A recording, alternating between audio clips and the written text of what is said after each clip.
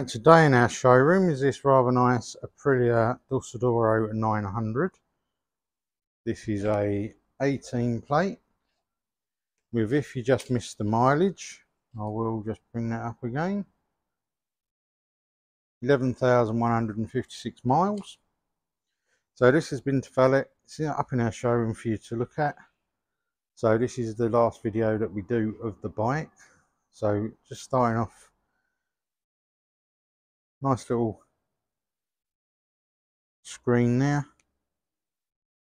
few very, very minor, very minor, like polish scratches, but other than that, not too bad at all. The beak is really good condition. Nice forks. Brakes are all good. Wheel is really nice.